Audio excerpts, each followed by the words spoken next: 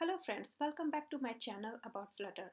In today's video, I will show you how I, add, I added syntax highlighting feature for my Flutter Cookbook app. I use this uh, Flutter Cookbook app to show the functioning and the code recipe of my different uh, explorations of the widgets I do with Flutter.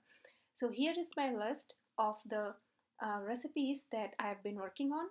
So in here, I added these two buttons. This one, the first button is to show the live demonstration for the uh, recipe and this little icon here for to show the uh, related code recipe.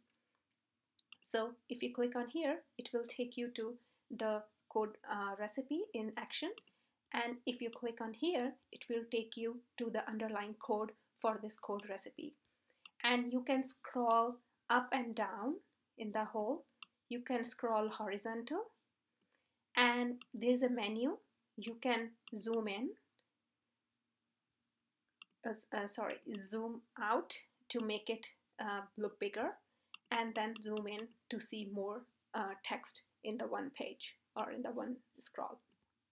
Another thing I added is here is the link to the github repo. So it will take you to the uh, github repo for that particular file like this. So you can see it right here if you choose to.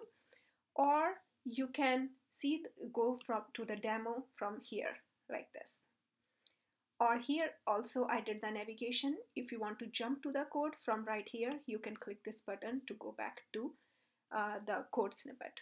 So let's see how I did it. Again I have the blog post here uh, which takes you to the step by step how I did it so as usual, I go over my blog post first and then we'll see uh, the code in action in Android Studio. So the first thing first, I use the syntax highlighter plugin, which is right here in your PubDev to achieve this. So uh, I did, I used two uh, new plugins for this. One is the syntax highlighter that will highlight the content uh, of the file uh, for the particular syntax uh, and second is animated floating action button. So that's for this menu to make it animated. So this is a library too. All right. So now uh, I use the first thing uh, there's a one file code file that will uh, the code file widget. Uh, I I use this as a stateful widget because the uh, there is a different things that will be changed. Uh, first thing is like the as we saw zoom in and zoom out functionality. So we have to reflect that in our widget. So that's the reason I use uh, the stateful widget for this case. So when I this is my reusable file across uh, my all recipes. So that's why I uh, pass these four component. My recipe name in that case it was the loading PDF right here page name that's the routing. So this is the way I do routing for my uh, for this flutter cookbook app. Uh, you can use a different way if you choose to but for my navigation purposes I use this way. And code file path is the path which is internal in my code repo. And the code github path is the external path for this file. So this is the code where my code is written. So now as you see, let's see, uh, is a regular stateful widget. And right here, it consists, my state widget is mm, uh, consisted of three main methods. First thing is the build that builds that screen. So if you go here, this screen is built in the build method. Next is the code preview action. This is where I build these actions and the highlighting uh, highlighted code syntax. That's what you see here is being built in this third method. Now in the build screen, as you see, uh, so let's see the code right here. I'll move it into here. So first thing is the app bar. So app bar has the icon button as arrow back. So which takes you to the back, one screen back. And the recipe name is right here, loading uh, PDF. And if you see the action has opens the my external GitHub path from right here.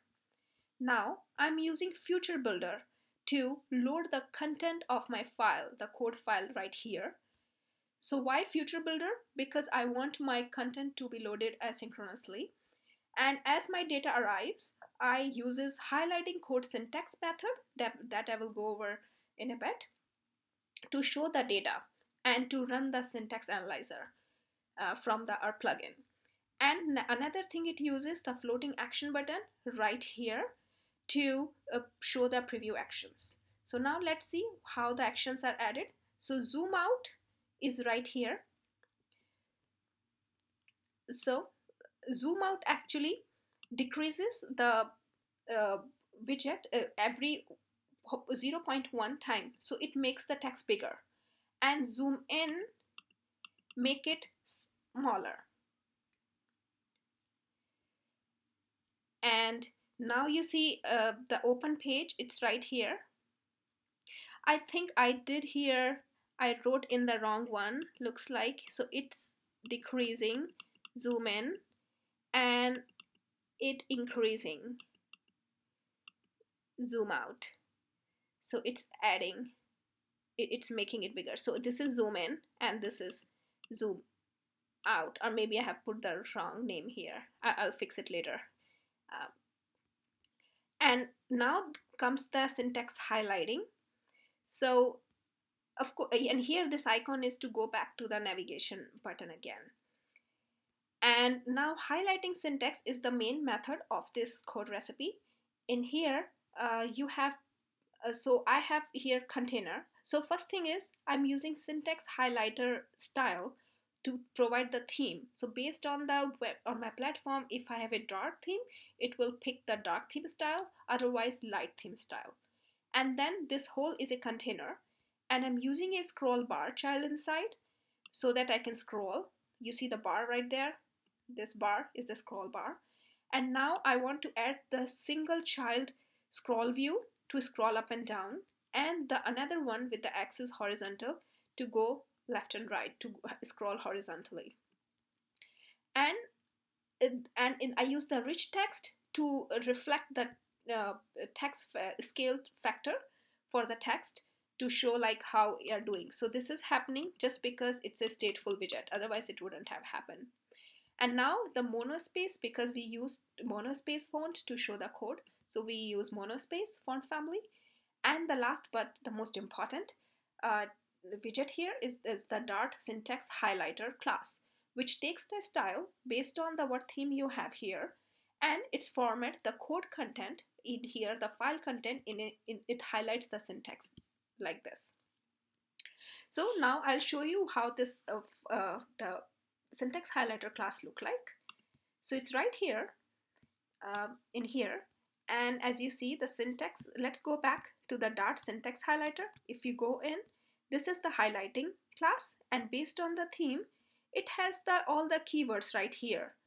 So this is how, this is a plugin code. It has all the keywords for the Dart and the built-in type.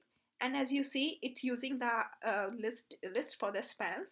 And based on like what kind of keyword it's meeting, it changes the color for that particular, uh, it, it styles accordingly. So this is what this particular plugin does. And here, and this is the code for my code uh, file widget. And as you see is right here. And just to see, give you a quick overview of my routing. So I use this one here. And uh,